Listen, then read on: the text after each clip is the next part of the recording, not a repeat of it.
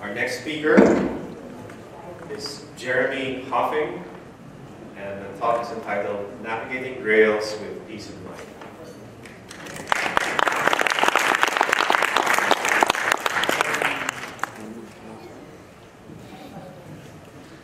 Hello, hi, my name Jeremy Hoffing. Uh, I'm a software developer from Los Angeles, and uh, I work mostly mostly in the startup world. Um, I've been doing development in Ruby on Rails for about four years now, and uh, you know my talk's called Navigating Rails with Peace of Mind um, because um, there's two things that give me lots of headaches uh, in my experiences across you know, different projects. And um, those things are complex forms and uh, microservices architecture. So um, I'm sure you've had headaches with those as well. So I want to talk about why they give me headaches and uh, you know what are some things we can do about it. So complex forms and accepts nested attributes for. So um, you can use complex forms uh, and accepts nested attributes for if you want to create um, you know, two resources at the same time. So um, here is a complex form, and it's actually not even that complex. Uh, I have an author, and I want to be able to create uh, you know, books that belong to the author at the same time. And uh, so here's the code to do that. Uh, I have you know, my parent model author, it has many books. I have the um, uh, book class that belongs to author, and if I want to be able to create both at the same time, I can add accepts nested attributes for, for books, and that will work. Um, I also have to add some more code, uh, you know, in the controller. In my new action, I have to add author.books.build to be able to create um, fields in the form for those. And um, in my view, I have to say, uh, you know, fields for books and then put in the book attributes. Uh, but it doesn't stop there. Um, you also have to deal with strong params, and it's pretty confusing. Um, if I want to be able to create uh, books along with author, I have to first say books underscore attributes, and then pass an array of, um, of the book attributes. And it's confusing how it's reversed, because I have to permit an array to pass a hash, and I have to permit a hash to pass an array. And so let's go ahead and finally submit this form. And uh, you know, that works. You know, um, I can go edit the author, I can see, uh, you know, it saved the book. Um, so let me go ahead and add uh, validations to this. So I'll just start by adding validations to the author. Um, just, you know, validating the presence of first name and last name. I'll go ahead and submit this. And uh, this works, that's great. I see the uh, errors for first and last name. Now let's go ahead and add validations to the nested resource, and this is kind of where everything starts falling apart. so I'm going to add a validate, you know, validation presence up to the title for a book, and I'll resubmit the form and I'll leave the title blank. And this is what happens. You know, it creates an invalid book uh, model object, and uh,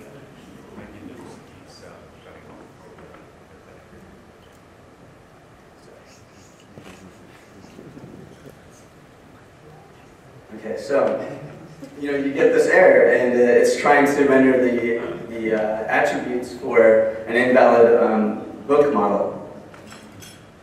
And so to fix this, uh, I can add an option to accept nested attributes for where I, um, you know, I can say reject if, and then, um, uh, you know, if the attribute for title is blank, then it won't be able to submit.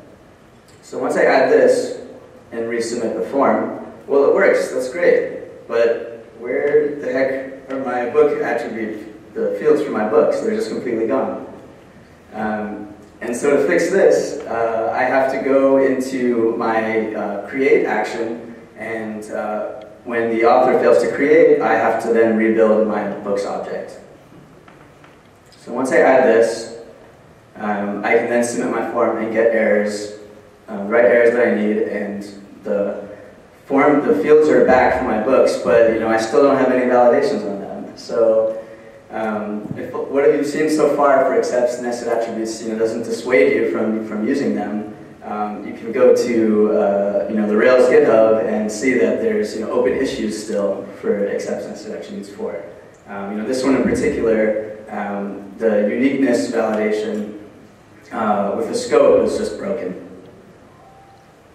And what I suggest to do instead is just to use the you know, normal RESTful routes and create your um, you know, parent and child resources one at a time. So you know, first just create your author. Once you create it, you then have a link to start creating its um, child resources. So you can just add a book, um, and then all of the validations for that book will work because you just have you know a simple, clean form. So my suggestion is keep it simple. Um, you know, just avoid complex forms if you can. And the next headache that, uh, uh, that I see all the time is with microservices, where people want to build lots and lots of applications early on. And this is pretty apparent in the startup world where people are trying to build applications as fast as they can, and they don't really think about you know, consequences once you start separating things early on. So I had this one project where you know, I thought originally it was just going to be this, you know, just a Rails app with a single database. But, you know, we were a new team and we were building quickly and it soon evolved into a Rails app with, uh, you know, a backend API. Um, there was, uh, the front end got separated into its own application as a client-side Rails uh, Angular app. And it didn't stop there.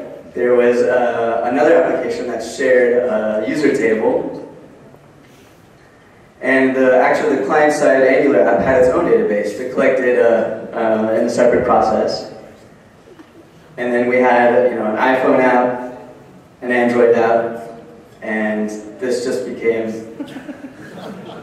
a huge nightmare. so, you know, what was wrong with just keeping this as one single app? You know, especially early on in development. Was there some conversation I missed out on, monolithic versus microservices discussion? So, you know, I started looking into uh, reasons for monolithic versus microservices and trying to find some case studies where microservices really worked well. So, uh, you know, I found a couple of cases where, you know, SoundCloud um, and um, Carbon 5 is this developed this dev shop in Los Angeles where they had these very large, complex applications and um, they were losing lots of productivity, um, you know, waiting hours and hours for their tests to, to finish running. And so they had very successful experiences splitting up their monolithic app into you know, individual services. So I realized that you, know, you need microservices when your test suite takes hours to run, your models are you know, several hundred or thousand lines of code, and this is just making you less and less productive because of the over complexity. But the thing is, with my team, we didn't have any of these problems. We were a team size of you know less than six people. Our biggest models were like 400 lines of code. Our tests you know only took five minutes or less to run. Um, but I was less productive because I had to deploy, um, you know, managing deployment for all these different applications, managing all these different API endpoints. So I was wondering, you know, why in the beginning we had to create this very complex design. And there are two things in play that, that I've realized. And one is we just wanted to over-engineer and pre-optimize and look ahead in the future. Um, for example, one part of our application was payments processing. So you figure you could extract that out into its own application. And so down the line, you could use the same payments application for other things. Or maybe you want to separate out uh, a templating part of the application and reuse templates for other things. But um, you know, business requirements change all the time, and you actually never get there. You never end up using the thing that you thought would be so great. Um, there's also this uh, front-end developer paradigm that um, I think, uh, you know, the, I think the notion of front-end developer versus back-end developer is something new.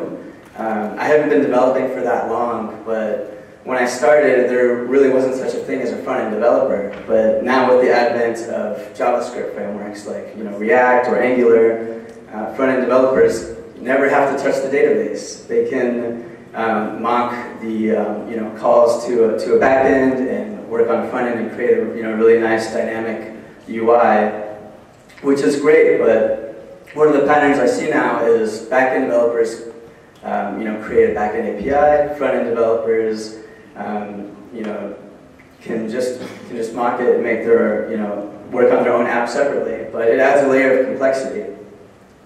So why can't we just keep the monolith? Well, um, I think this is something that would make a lot more sense and, and much, it'd be much easier to manage. And um, Nick Sutterer has a really great quote about this. Um, he says, what's so hard about having proper object design in one monolithic Rails app? You can have cleanly composed separate layers with interfaces that allow reusability, um, simple testing and debugging. And you know, that's something you can do by you know, namespace in your models or creating service objects or um, extracting logic into gems to create a, a nice maintainable you know, single uh, monolithic app. So I wanted to look at some success stories of monolithic apps and um, Akira Matsuda, get another shout out, um, has a really great presentation uh, of cookpad.com where um, you know, he's got a team of 50 developers, and he gets 50 million unique visitors a month, 15,000 requests a second, you know, 2,000 tests, and um, they're able to make this work.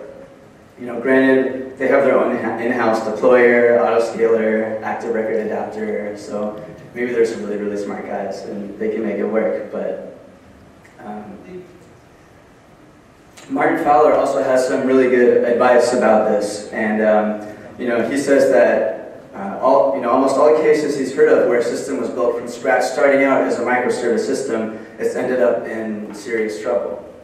And, uh, um, you know, this, he says you shouldn't start a new project, you know, even if you think that'll be worthwhile to split it up. So, you know, the best way to find out if your software idea is really good is to just build a very simple version of it uh, and test it out and see how well it works. And uh, there's just one quote to sum it all up, and that's learn to walk before you can run. So, uh, yeah, that's all. Thank you. Thank you, Jeremy. Questions?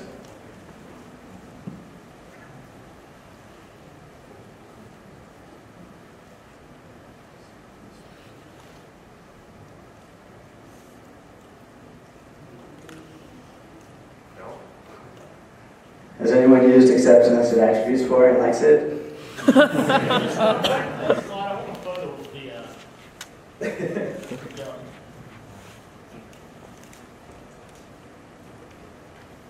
I'm pretty sure that's everyone's feeling about, especially when strong params came in.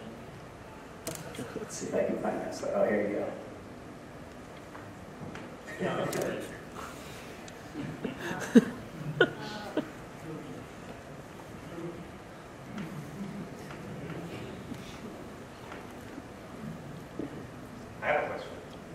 that's great.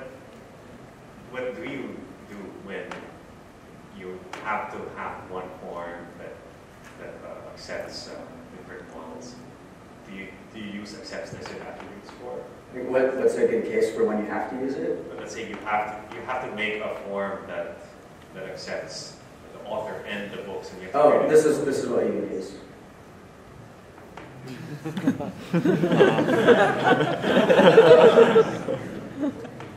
so let's all, let's all work on that pull request. Yeah, I, I guess I guess that's it. Thank you,